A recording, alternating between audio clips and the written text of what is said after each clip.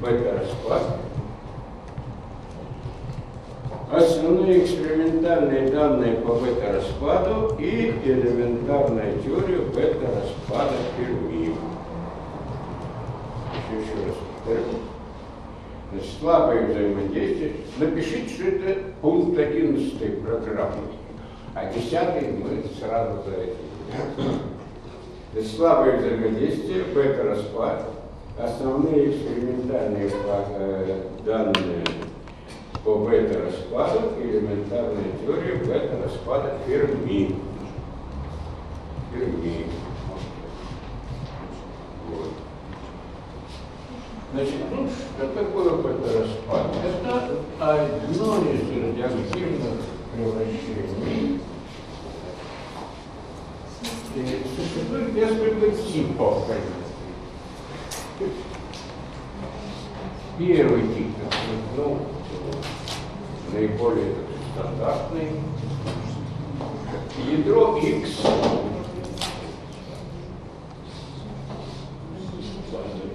Z превращается в ядро Y и при этом вылетает электрон. Значит, Z у нас увеличивается на единицу, чтобы от сохранения заряда выполнялся, а А остается прежним. Валионный заряд остается прежним. Ну, э, сейчас известно, что нужно тут приписывать антинейтрино.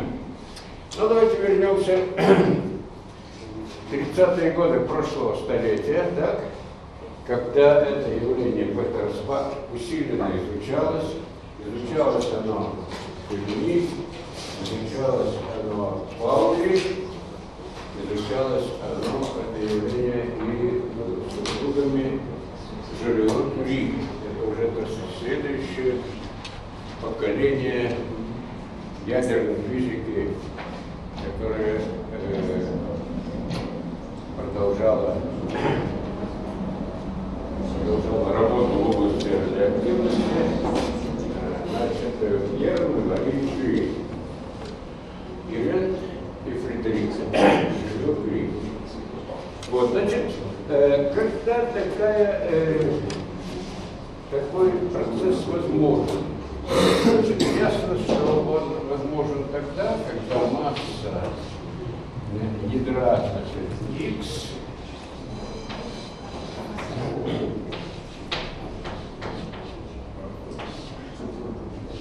э, равна, ну, больше, больше или равна массе ядра Y Z плюс 1 на А плюс M0.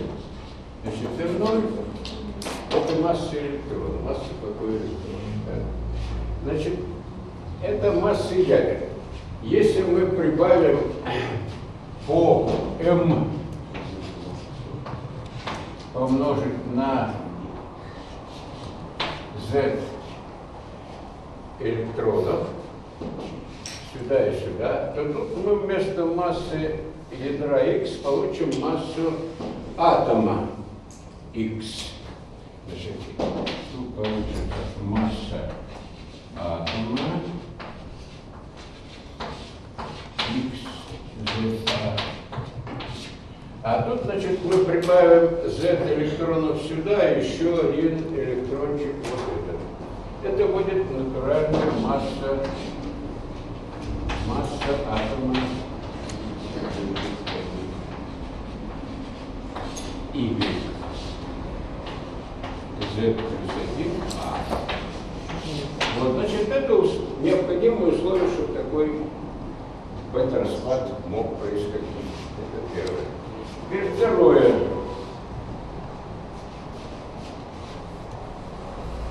Фредерик Жильо Кюри обнаружил так называемый позитронный бета-распад.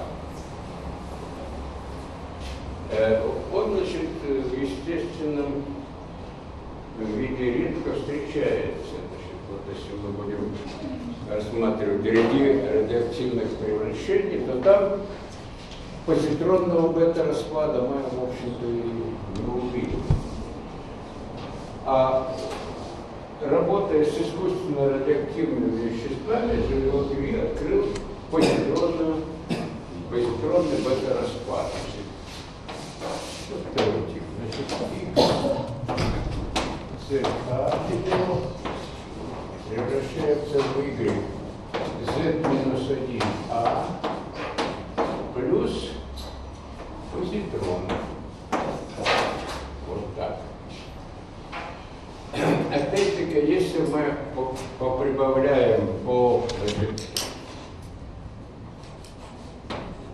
Z электронов каждому из этих равенств, каждой, каждой из частей этих равенств, то мы получим слева, значит, масса атома XZA, тут ядра, а тут масса атома, э, будет, должна быть больше массы атома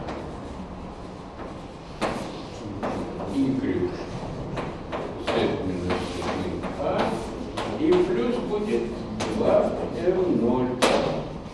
2L0. Потому что тут один позитрон есть, еще надо добавить сюда электрон, значит, удвоенная масса будет э, покоя электрона. Вот так, при таком условии может происходить бета-распад. Ну и еще один тип бета-активности – это так называемый Е-захват. Е-захват. Значит, электрон, значит, нас ядро, у нас электронное ядро.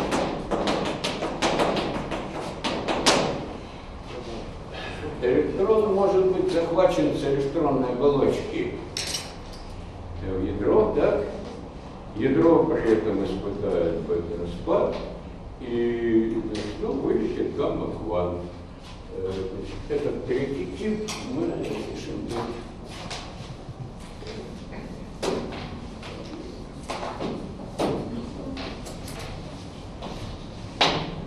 Значит, x z a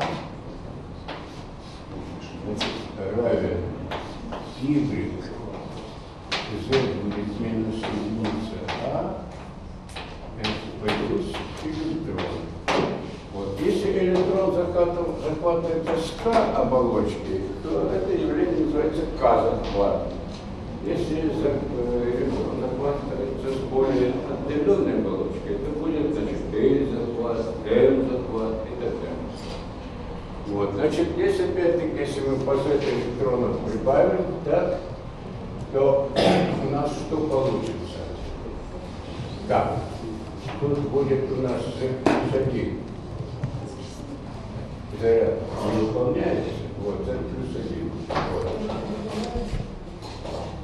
Э,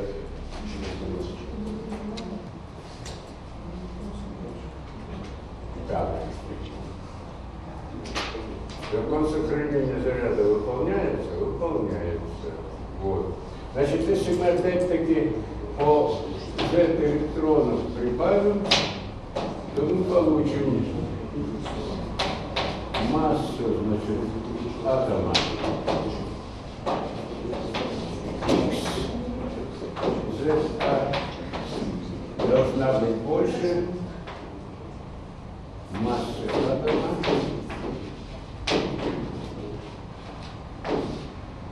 Y Z плюс 1 А.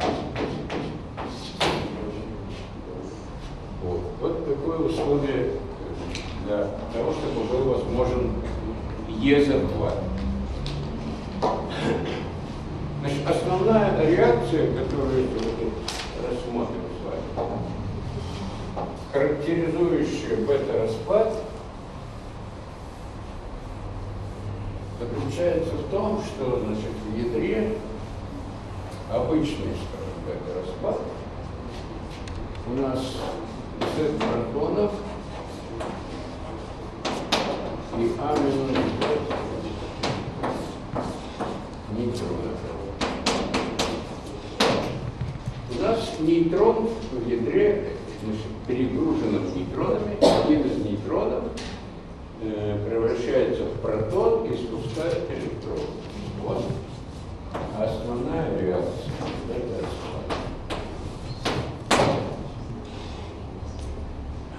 Это, так сказать, если на более элементарном уровне. Представь, не э, брать э, значит, ядра, а брать ядра как состоящие из нейтронов и протонов, то что происходит? Вот один из нейтронов это протон. Для позитронного распада там наоборот.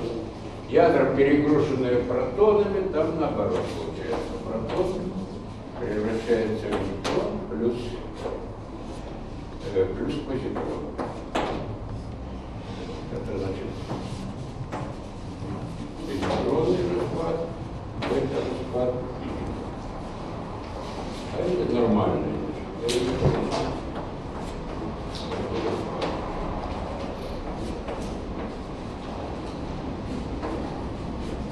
Вот так. Ну вот, какие же основные экспериментальные данные? Значит, давайте э, рассмотрим. Значит, вылетающие электроны носят энергию значит, следующего э, порядка. Вот у меня тут есть цифры. Я их приведу. Приведу на следующей реакции.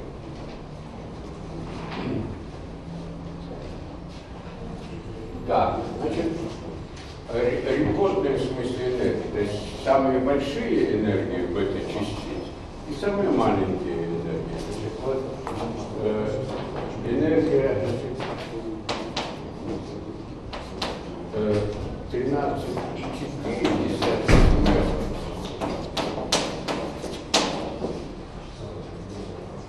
Это, значит, при, такой, при таком бактерос- бактероспаде, значит, бор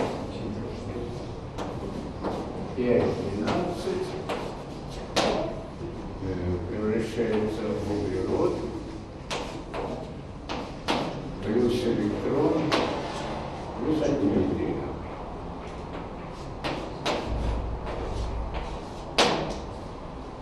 А значит, самая маленькая реакция, э, самая маленькая энергия, да, наоборот, это самая маленькая, а самая большая энергия это э, 18,61 мегаватт. Это для такой реакции. Тритий, сверхтяжелый водород, превращается в гелий 2-3, редкий изотоп гелия, плюс электрон, плюс альфа-нефтий. Вот, значит, предельная энергия. Но это на самом деле, значит, это энергия не бета-частиц, а это энергия бета-превращения, полная энергия. Вылетает и электрон, и антинейтрино, значит, это суммарная кинетическая энергия этих двух частиц. Вот так надо это понимать. Ну, это ладно, да бог с ними. Вот вылетают они с такими энергиями. Но самое удивительное оказалось вот что. Значит, когда бета-распад писался без антинейтрино, вот такого вида, когда еще ничего не было известно, никакого антинейтрино не было известно, то вот экспериментаторы, значит, измеряя энергии, получали, значит, здесь n от энергии, а, э, значит, а тут, то есть здесь интенсивность вылетающих потоков как функция энергии, а здесь энергия. Получался вот такой график.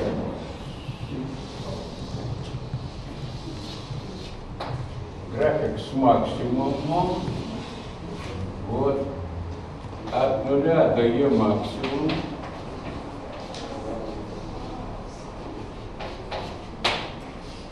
и максимум этой э, кривой примерно в области 1 треть Е максимум.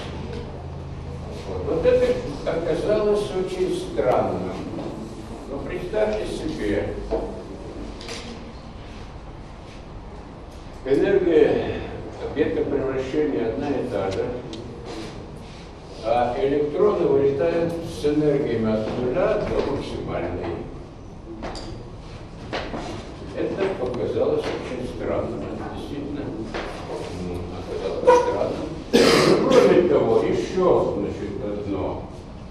Вот если мы возьмем, скажем, эту реакцию, не пишем здесь антинейтрино, то здесь с моментом импульса, закон сохранения момента импульса не выполняется.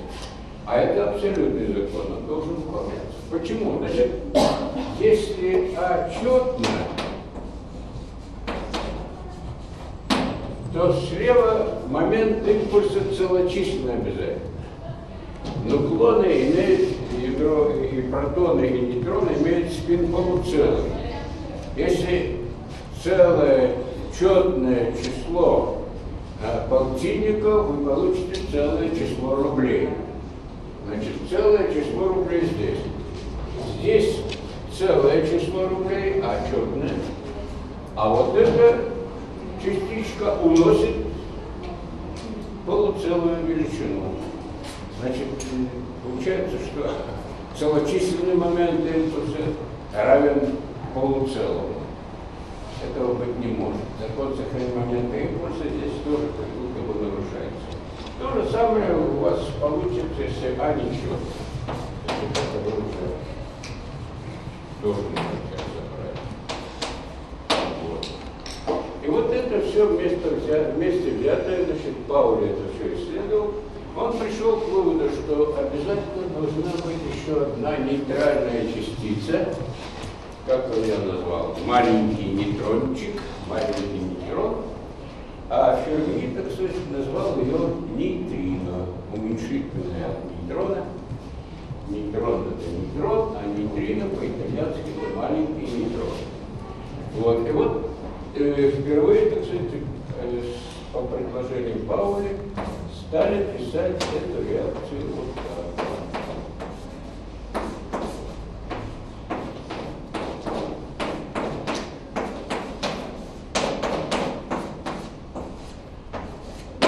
Тогда еще неясно было, антинейтрино или нейтрино, это уже потом установили, что это антинейтрино оказывается. Вот. Ну и, значит, Паули вот такую гипотезу высказал, а, да, а Ферми дал первую, так сказать, элементарную теорию бета-распада.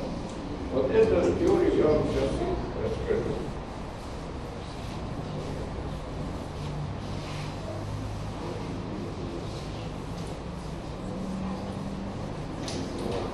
Согласно квантовой механике, согласно теории квантово-механических переходов, вероятность перехода системы из состояния И в состояние К будет равна 2И на H. Тут модуль квадрата матричного элемента, значит, К, К это набор квантовых чисел конечного состояния. Тут будет, значит, H взаимодействия, оператор взаимодействия, И модуль квадрата этого э, матричного элемента, модуль квадрата матричного элемента перехода из И состояния, состояние К помножить на ρ от Е. Ро это значит э, ро от Е, это dn от Е. Значит, число квантово-механических состояний, это количество штук, приходящееся на единичный интервал энергии. Вот что такое ро от Е. Вот, значит, то здесь два множителя. Первый множитель и второй. Первый множитель это есть модуль квадрата матрицы элемента вероятности перехода. Так вот, э, нам важно, как это все от энергии зависит. Оказывается, вот этот первый множитель, он фактически от энергии не зависит. Вот. И не зависит.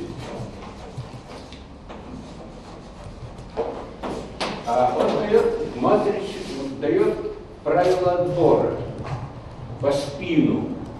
Вот как меняется спин ядра при бета-распаде. Значит, вот теории Ферми Значит, по Ферми.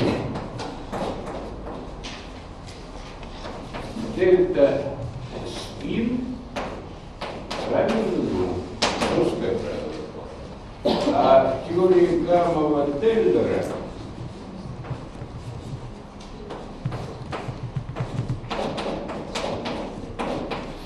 там более мягкие правила отбора. Вот. Ну вот мы будем, так сказать, исследовать работу Ферми. Там это будет все попроще. Вот. Э, в чем дело мы с вами получим. Гаммов это Георгий Гамов, наш соотечественник, советский физик, который значит, первый объяснил альфа-распад, и это мы с вами будем проходить, который на стажировку был за границу в 30-х годах и там остался. Вместе с Ландау, там, еще кое с кем. Ну, Ландау вернулся, а Гамов нет. А Тейлор это отец водородной бомбы. Отец водородной бомбы в Соединенных Штатах. Это физик венгерского происхождения Эдвард Тейлор. Ну, фамилия Тейлор по-немецки Таялка. Вот, значит, итак, нам важно вот это ро от Е найти. Вот что самое главное. Здесь я вынужден вам рассказать элементы квантовой статистики, которые будут в квантовой механике вам более подробно рассказывать. Значит, что такое ДН по ДЕ? Значит, это количество квантово-механических состояний, приходящихся на единицу интервал энергии. Вот у нас вылетели электрон и антинейтрино. И вот сколько там состояний приходится на единичный интервал энергии. Вот э, эту величину нам надо найти. Ну, во-первых, давайте вот что. Значит, объем квантового механического состояния.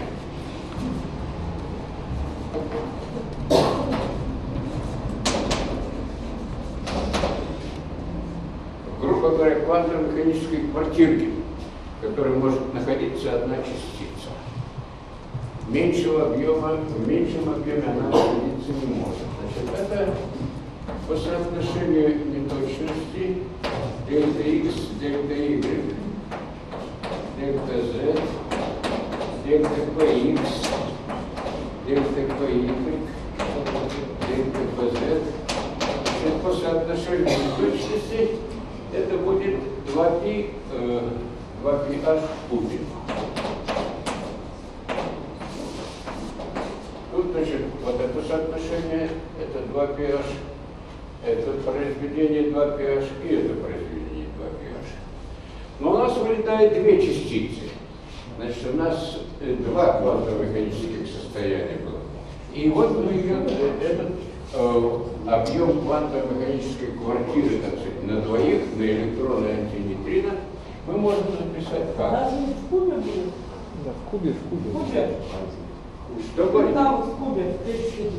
В кубе, конечно, в кубе. А я сказал на в кубе, да? Да. А написал в квадрате, ну как всегда, как положено. Если я не буду ошибаться, знаете, один мой знакомый, значит, он, очень сильно играл в шахматы, но иногда проигрывал. И он, значит, говорил так, если говорит, я буду всегда выигрывать, возникнут слухи о моем божественном происхождении. Ну так и я. Значит, никаких там божественных происхождений, поэтому я ошибаюсь. Так, значит, здесь мы должны написать и для электрона, и для антинейтрина. Для электрона мы напишем без всяких индексов. Это у нас, давайте будем считать, что это у нас для электрона. А значит, для антинейтринов мы будем антинейтрин, значок нейтрино ставить.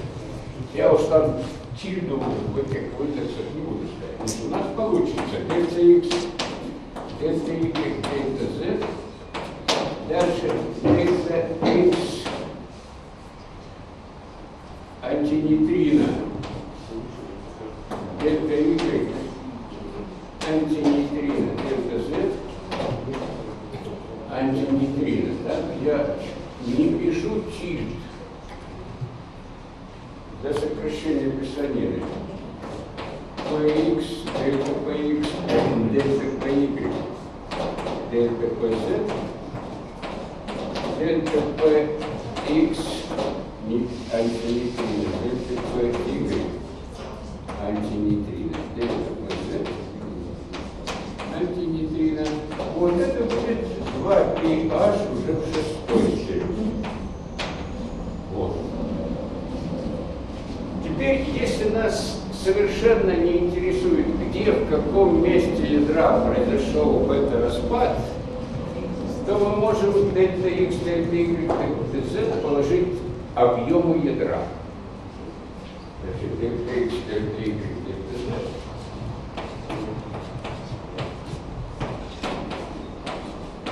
Ну и дельта x нейтрино, дельта y нейтрино, дельта z нейтрино. Это у нас будет v квадрат ядра. Да? Квадрат объема ядра. Это, естественно, положить. И тогда у нас немножко тут будет попроще.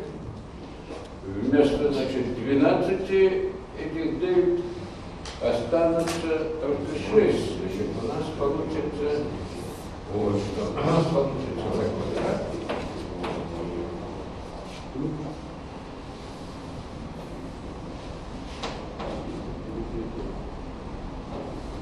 Квадрат дельта p x дельта p y дельта p z дельта p x нейтрино дельта p y нейтрино дельта p z нейтрино 2 h вот. То есть мы от э, фазового пространства для каждой частицы, это у нас было шестимерное пространство, фазовое пространство это пространство, в котором мы э, отмечаем три координаты и три компонента импульса. Шестимерное такое пространство. В статистике такое шестимерное пространство используется. У нас будет э, два обычных э, пространства импульсов. Пространстве импульсов. Значит, это объем, минимальный объем квантово-механического состояния.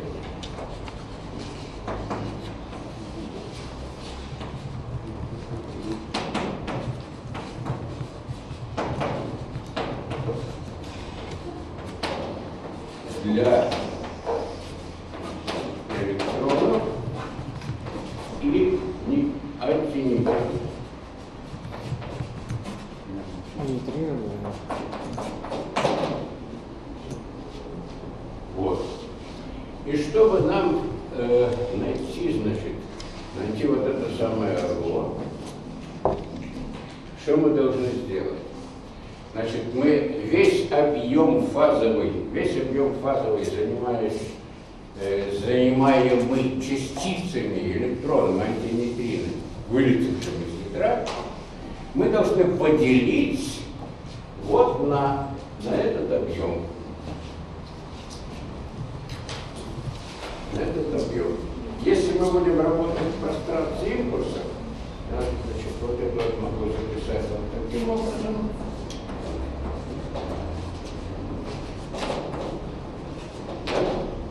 Вот. Тогда полный объем, значит, который занимают частицы, э, это давайте так напишем, в пространстве импульсов. Это будет, значит, мы должны взять интеграл от dpx, dpy, dpz, интеграл dpx нейтрино, антинейтрино, dpy антинейтрино, dpz. Вот. Проинтегрировать по всем возможным импульсам, которые у нас тут. Об этом еще будет речь немного позже. И вот если я поделю вот на этот, на минимальный объем, минимальный объем в пространстве импульсов. Вот если я поделю вот на этот минимальный объем, я получу ZN. Правильно? Количество квартир получу. Вот, значит, э, вот давайте здесь пропишем.